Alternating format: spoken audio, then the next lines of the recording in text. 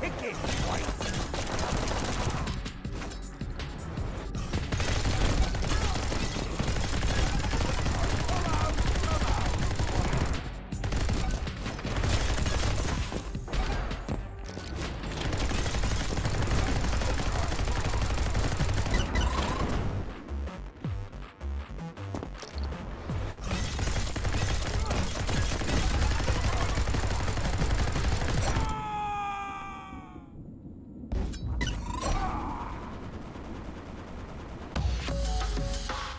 I just keep getting better and better.